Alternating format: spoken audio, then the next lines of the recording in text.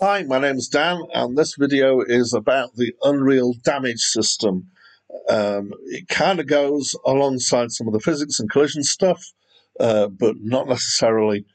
Um, yeah, so it's a it's a standalone video in in that sense. Okay, so the first thing I should say is that you could do all your own damage stuff. You don't have to rely on the Unreal uh, Unreal system, but why would you want to reinvent the wheel if this system's good enough for you? Okay. And all it does is it does a transmission of the concept of damage from some, some objects that cause damage to some objects that um, receive damage. Okay, so what it doesn't do for you is give you the concept of health and actually work out when uh, a character has died or when an object should uh, break because it's received uh, enough damage. Uh, so it's it's just effectively a number that's passed from one object to another to say uh, there is some damage. So uh, the setup I've got here is uh, is abnormal for me. Is that I'm actually using the first person template. Uh, you can see it written on the floor there. Um, and I've uh, created a couple of things in here to help me along. So the first is one of the cubes that's just kicking around in this template.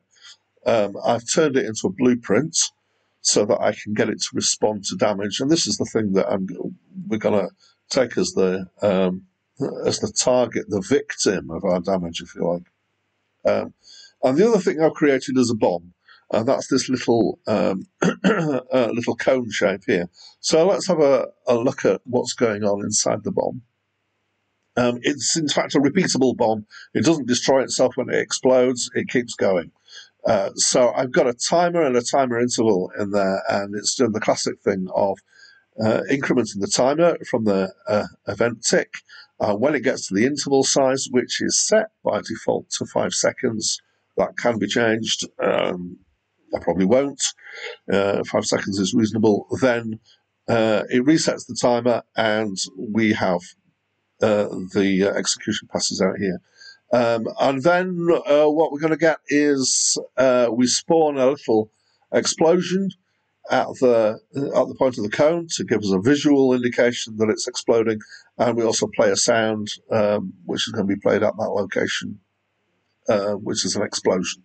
Okay. Um, this does not yet do any damage, so we'll come back into this when we uh, talk about radial damage, which is the kind of damage we're going to want from that. Okay, so let's close that. Um, so let's get into our cube. We want it to uh, respond when we have damage. Open the full blueprint editor. Here we go. And there are three uh, at least events uh, that can respond to damage. Uh, three. There we go. So you can see can event any damage, event point damage, and event radial damage. So we'll start with the event damage. Uh, sorry, any damage and so any damage that's being caused to this uh, to this box is going to respond here. Now, uh, as I said before, what we might want to do is to have some setting and to accumulate damage over time, or to have some kind of health setting which we decrease from other damage when it comes in. I'm not going to do any kind of setup for that. All I'm going to do is respond to the damage by uh, printing it out to the screen. So print string and uh, it's automatically plugged that into the duration rather than the um, uh, uh, oh, there we go, rather than the actual thing that we're printing.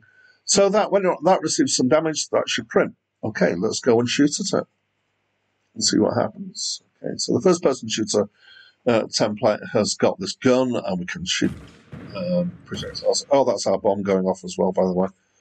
Um, but nothing's happening. Cuba uh, seems to not be responding. Uh, and the reason is, it's not actually, although it's been moved about by the bullets that are hitting it, it's not receiving any damage. And that's because the bullet itself is not yet set up to do some damage. So we're going to get into, no, that's the wrong place, uh, into the blueprints, and we've got our projectile here. And this has uh, an event hit, so it detects when it's hit something um, and it uh, has an impulse to the thing that it hits, which is how it kind of moves stuff when it hits it, and then it destroys itself. So we're going to interject uh, before it destroys itself we're going to get it to apply some damage. So I'm just going to do apply damage. And there are four here. There's apply damage, which is a generic damage uh, causer. There's apply point damage, which is what we'll switch to after we've explored apply damage. And then there's the radial damage, but we'll turn to the bomb when we do the radial damage. Okay, so we'll just apply damage here. Uh, sit on there. So it needs to know what actor is going to receive the damage, and uh, the uh, projectiles hit something, so it's the other uh, element from that hit needs to be plugged in there. And the base damage, uh, we're just going to give it 10. The, the numbers don't really matter at this point because the numbers would be relative to whatever health something has. You see, there's a few more things here. There's event instigator, uh, so you can say which object actually has, has directly caused the damage. But there's also the damage causer, and this is this takes a player. Uh, um, uh, it's an actor reference, but it wants to know uh, if uh, which player has caused the damage or if it's been caused by um, an AI or something. So uh, to give them credit uh, if that needs to be done. Okay, and we've got a damage type class here, and I have, I confess, no clue about that. So, uh, so it's going to apply the damage. I hope that is going to work now. We're just going to uh, compile that and click play. Honestly, and shoot at the box. And now we can see 10 damage every time we hit that box. 10 damage. 10 damage, right.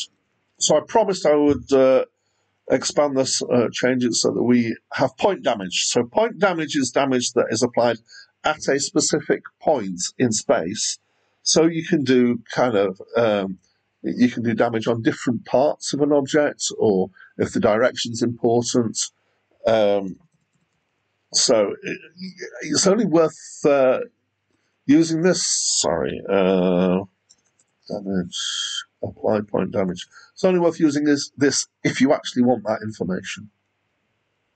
Um, once again, the damage actor needs to come out from here, other, and we've got a base damage. We're going to up this to 20 for a base damage for this. Uh, hit from direction, that's going to be the uh, hit normal. And hit info, well, why not? We've got hit here, so that will plug directly into there. We can give it all that information in case it wants to need it. Um, so if we go back to our um,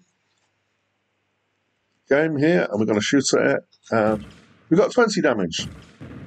Um, and in fact, let's uh, add something here. So that's picking up on the damage as generic damage. Uh, let's go back into our box. Where was our box? Here it is.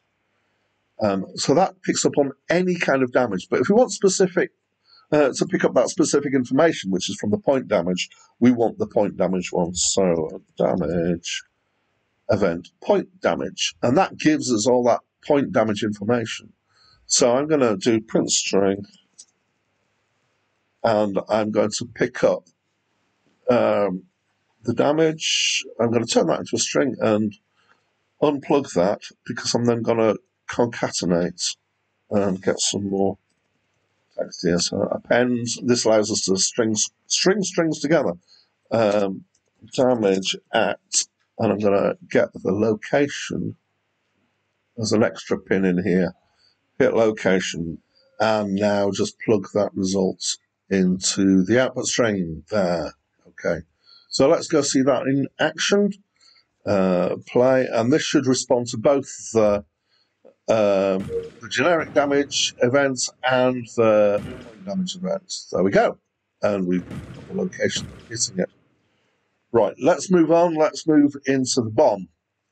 Um, so the bomb has got this setup where uh, it's got various things that happen, and uh, we can take something out from here because this is when it's exploding. And we're going to do apply damage. Sorry, apply radial damage. Apply radial damage. So there are two choices here. I'm just going to show you the the two apply radial damage with fall off. So the fall off gives you a more complicated um, uh, sphere around where the damage is being created. It gives you a base damage and a minimum damage. Uh, they both need origin. You've got an inner radius and an outer radius and a fall off to be defined. But this one does do uh, a more simple fall off. Uh, so we will use this one. Uh, we're going to make the base damage for this 30. And uh, the location for the damage is the same as the location of the um, of the cone itself. Uh, the damage radius, we're going to make that 10 uh, meters. So that's a thousand centimeters. Uh, you're able to put something, uh, other information in here. You've got the damage causer and the instigator by controller, as kind of similar to what we've had before. There's also an array input here. You can tell it to ignore certain actors, um, and this uh, is a way of, uh, for example, disabling friendly fire. Uh, if you want to do so, you need to put together all the actors that you want to ignore it and put it in there. So let's go see uh, what work if that works. Um, so let's click play. Uh, we're going to wait for the explosion. Boom. And there we can see it's just doing that um, receive any damage there. It's giving us 22. Uh, uh, point damage. As I moved it away, it's doing less because it's getting further out from the center. 13. So the damage falls off uh, as you get further out. Uh, so we're just going to do one more thing in the cube, which is to get it to respond specifically to the radial damage as well. So uh, damage. Uh, so if you want to know information about the radial damage, then you've got this. Again, you've got uh, the origin, the hit info, uh, etc. And we'll, we're just going to print a string in here. Print string.